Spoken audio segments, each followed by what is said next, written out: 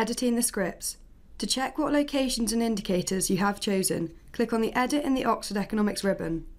This setting records the operations that have been performed.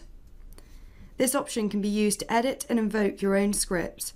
It is possible to add and edit your data in this setting. If you require any more information, please have a look at our use guide on the Oxford Economics website.